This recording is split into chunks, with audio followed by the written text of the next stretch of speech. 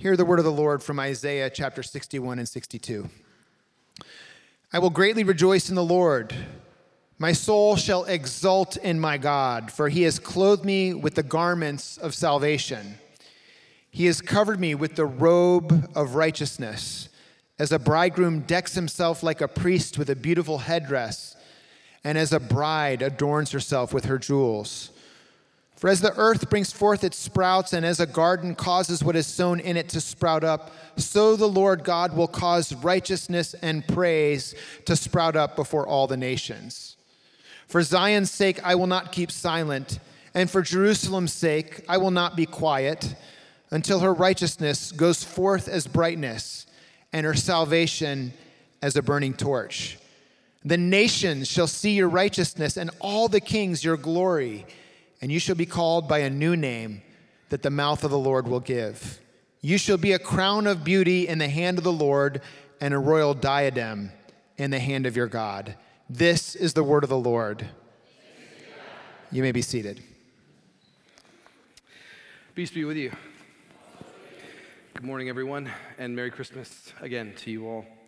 As we come to the end of the year, we are capping our sermon series in the prophetic books with prophetic hints of the promised Messiah, our Lord Jesus Christ. And today we have come to the book of Isaiah. Let's begin this way. In, in the Gospel of Luke, chapter 4, Jesus visits his hometown synagogue on the Sabbath, and he begins to read from our sermon passage today, Isaiah 61 and 62. And he says this the Spirit of the Lord is upon me because he has anointed me to proclaim good news to the poor. And then he claims to be the fulfillment of that scripture. He says, Today, this scripture is fulfilled in your hearing. So Jesus claims to be the anointed one. He, the word he uses is Messiah. So in Luke 4, Jesus, Jesus gives us a very important interpretive key when it comes to understanding Isaiah 61 and 62.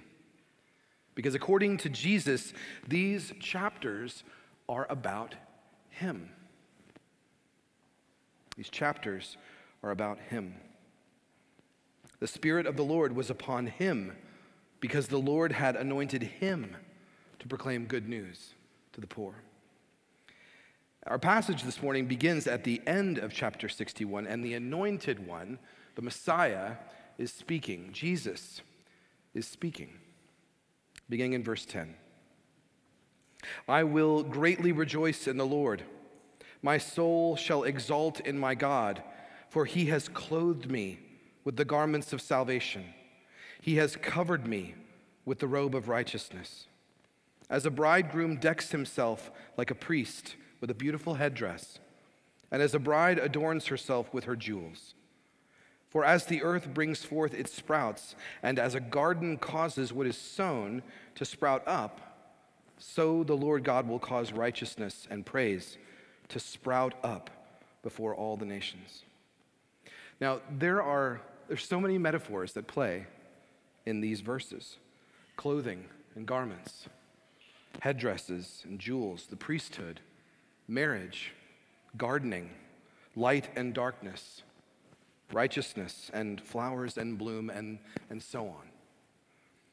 But the passage does seem to oscillate between two primary metaphors the metaphor of marriage and the metaphor of gardening. In the Bible, these metaphors are actually very, very closely related marriage and gardening, if you'll consider these. In the garden, Adam watched as the serpent deceived his bride. In the Song of Solomon, the bride is often described as a garden.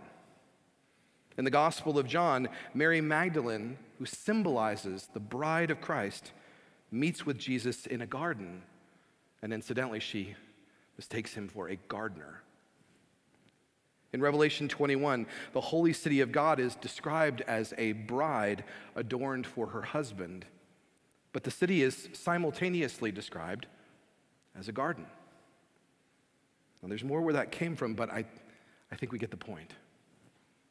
The Bible routinely mixes the metaphors of marriage and gardening.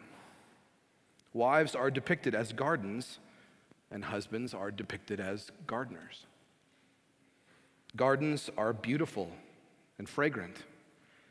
Gardeners are not usually so. Gardens are by nature charged with glory and potential. Gardeners, on the other hand, they are most glorified when their gardens are glorious. And so, husbands are called to care for their wives, to love their wives like faithful gardeners, because wives, like gardens, have the God given potential for great glory and fruitfulness. The best gardeners are those who know and love and tend to and guard and care for their gardens with attentiveness and diligence. Truly, in these, these verses, there really is an entire marriage sermon, but let's move, let's keep moving forward. Let's read verses 10 and 11 again. And I want you to notice again just these, the, the, the garden and marriage metaphors. In fact, Rick, don't put, this, don't put the, the scripture on the screen. I just want you to hear this and visualize it. I will greatly rejoice in the Lord. My soul shall exult in my God, for he has clothed me with the garments of salvation.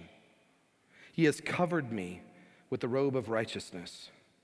As a bridegroom decks himself like a priest with a beautiful headdress, and as a bride adorns herself with her jewels. For as the earth brings forth its sprouts, and as a garden causes what is sown to sprout up, so the Lord God will cause righteousness and praise to sprout up before all the nations. So here we see the anointed one rejoicing because God has clothed him with the garments of salvation and righteousness. Verse 10, however, is very strange if we give any thought to it. The Messiah describes himself as both a bridegroom and a bride. He has covered me with the robe of righteousness. As a bridegroom decks himself like a priest with a beautiful headdress, and as a bride adorns herself with her jewels. So it's a good question to ask. Is, is the Messiah being compared to a bridegroom or a bride? Is Jesus a bridegroom or a bride? We'll wait to answer that later because the, we need to get to some other strange things before we settle that. But we do see that the Messiah is adorned, is dressed with salvation and righteousness like a bridegroom and like a bride. And the result, the, the result of this, the result of the Messiah being dressed with salvation and righteousness, is that the garden of God bears the fruit of righteousness and praise. And all the nations are going to see it. And this theme continues in chapter 62, verse 1. Let's read. For Zion's sake, I will not keep silent. And for Jerusalem's sake, I will not be quiet until her righteousness goes forth as brightness and her salvation as a burning torch. The nations, the nations shall see your righteousness and all the kings your glory. And you shall be called by a new name that the mouth of the Lord will give. so notice here that Zion, the city of God, is referred to as a she. Jerusalem, the city of God, is a woman. Also, notice that the garden of chapter 61 is now a city in chapter 62.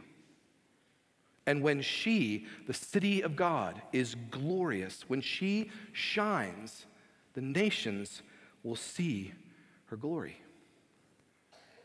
Like a faithful gardener, the Lord will tend to his garden, his bride, also known as Zion, also known as Jerusalem.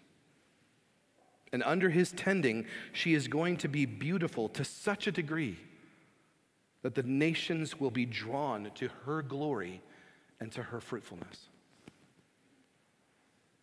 In other words, she's going to turn some heads. Verse 3 You shall be a crown of beauty in the hand of the Lord, and a royal diadem in the hand of your God. You shall no more be termed forsaken, and your land shall no more be termed desolate, but you shall be called, My delight is in her, and your land married. For the Lord delights in you, and your land shall be married. So again, we see Isaiah continuing to mix metaphors. The garden, which is the bride, which is the city of God, is a crown of beauty, a royal diadem, a, a shining tiara. She is no longer forsaken or desolate. She is stunningly beautiful, cherished, spoken for, married, and made exceedingly fruitful. And under the Lord's care, she has a new name. My delight is in her. God is depicted here as the, as the ideal bridegroom. So consider for a moment a wedding ceremony. Had a number of them here. I know a number of you have been to weddings before. Picture that for a moment. A, glor- a, a, a groom is, is glorious in his own way, but he's not preoccupied with putting his glory on display. What he really wants is for everyone to see the glory of his bride. As a gardener, the groom is most glorified when the garden, his bride, is revealed in all her glory. And that's the dynamic that's at play here in Isaiah 62. This is how God relates to his bride. Now, I know, well, maybe you're thinking, um, I know what the church is like. And she is not all that beautiful or glorious. And there may be some truth to that. But it doesn't mean that Isaiah is wrong. It just means that the church isn't currently living up to the Bible's vision for her. But even so, when a garden is struggling to bear fruit, even when a garden is choked out by thorns and thistles, a good gardener is able to see its underlying glory and potential. A good gardener can bring life back to a garden seemingly too far gone. And so this is, this is terribly important to remember. And so, no matter what age we live in, no matter what time we live in, the church is never God forsaken. She will never be abandoned by her great gardener. She is adored. She is valuable. She is held in the highest esteem. She is called, My delight is in her. And she will be cultivated and made fruitful. And if the God of creation delights in her and is committed to her care in this way, perhaps we should be too. Now, let's remember again that from chapter 61 that the, the Messiah is compared to both a bridegroom and a bride. That's, that's Jesus is compared to both a bridegroom and a bride. And that's, that's strange. But as I promised earlier, things are going to get more strange. It's chapter 62, verse 5. For as a young man marries a young woman, that's the word for virgin, for as a young man marries a virgin, so shall your sons marry you.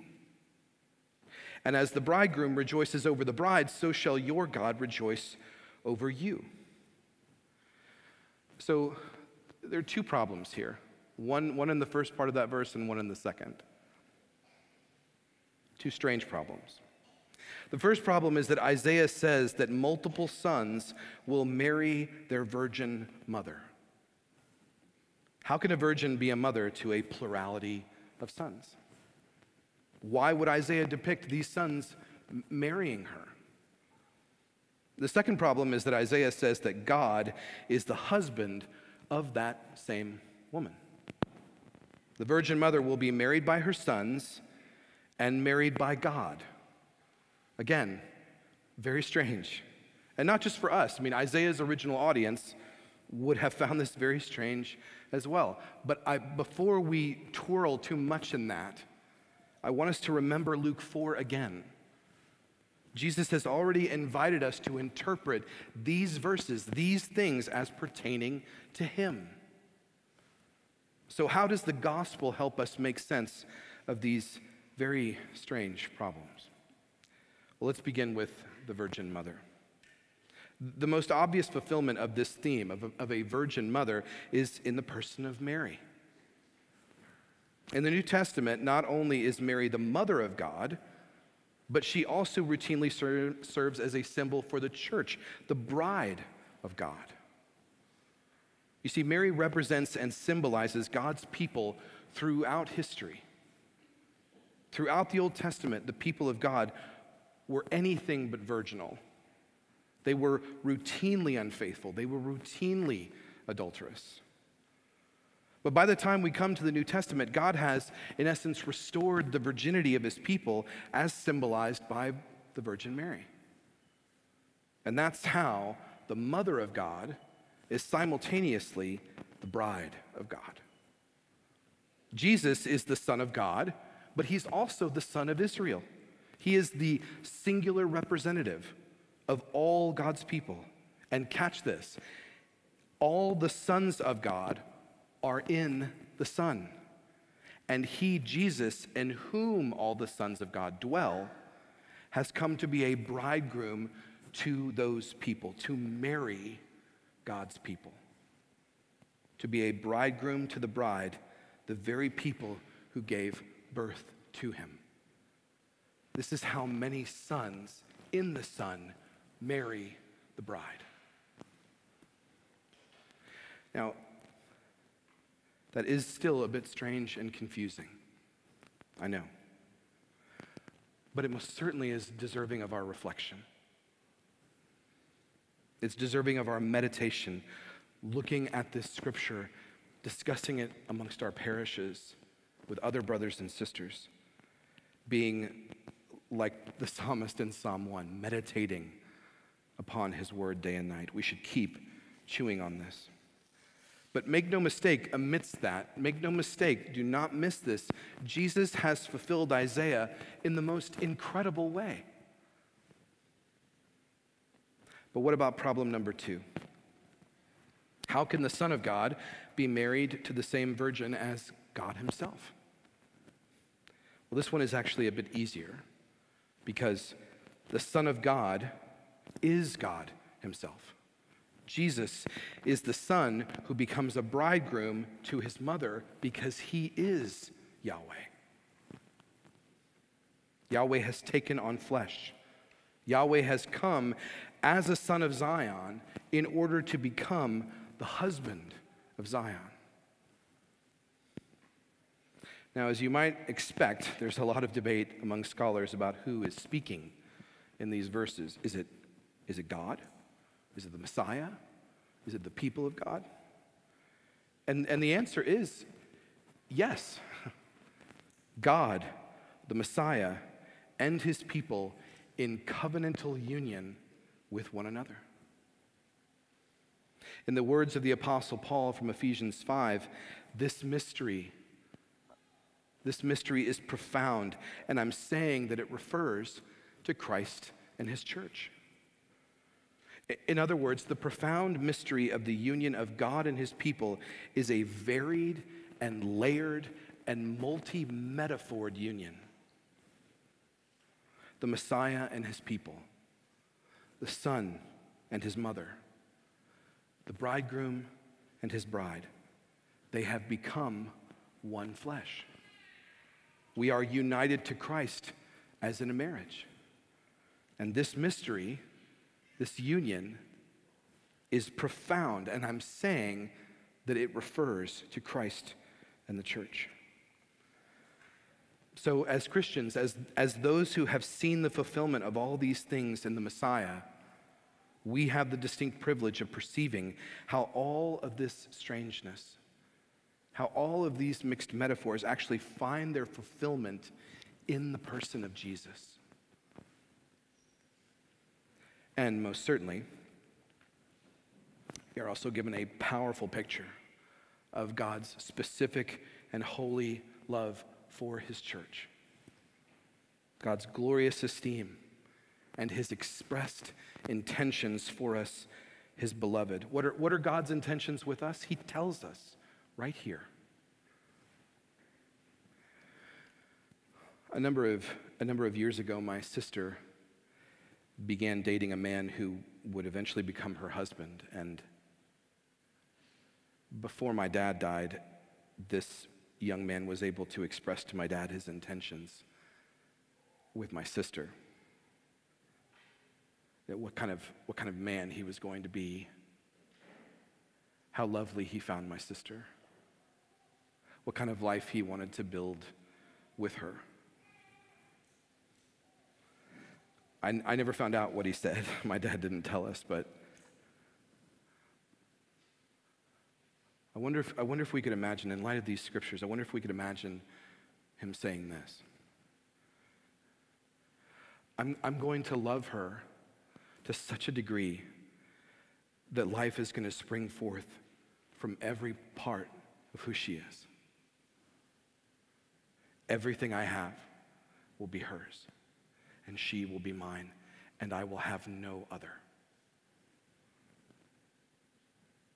Like a good gardener, I will tend to her, I will protect her, I will care for her until every row of her is blooming with fruit and flower. I'll take joy in her every day of her life. I'll be so good and so faithful to her that she will become good and faithful and everyone is going to see her and be drawn to her beauty and glory and righteousness, and I will call her my joy, my delight, my beloved. It seems that I'm mixing metaphors too, but I think that's appropriate. But we don't have to imagine such intentions, Sojourn. Our bridegroom speaks them to us. So hear this, dear brothers and sisters of Christ. As the bride of Christ, we are prized and cherished. We are the Lord's joy. We are a beautiful and beautifully adorned bride. We are a crown on the head of Christ. We are the glorious garden of God. And we could, you know what, we could even be more specific. You individually, you, Britt, Matt, Ashley, Peyton, Chris, Nick, Randy. You are God's delight. Children of Sojourn, give me, your, give me your eyes for a minute. I want you to remember this. As long as you live, when you wonder who you are, you wonder what you are, you can say this God delights in me. You're not perfect, you're not sinless, but that doesn't stop him from delighting in you. You are deeply loved, and this love, this holy love, isn't just merely kind, it's transforming. It's consuming, it's stronger than death. And the God who tends you is the God who intends and desires to see you fruitful. And he has promised his diligence and attentiveness to make you so through his word, by his spirit, among his people, and with his righteousness and salvation. He can see glory in you that you cannot see in yourselves. So take courage and joy, sojourn, You are loved and being looked after by a good and faithful gardener, a good and faithful husband. And that means that you are destined for glory. In the name of the Father, the Son, and the Holy Spirit. Amen. Pray with me.